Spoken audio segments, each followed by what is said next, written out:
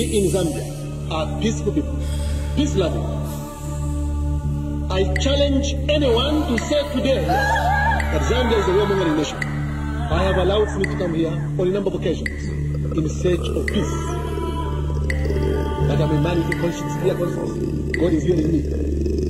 I can never sell out. Never.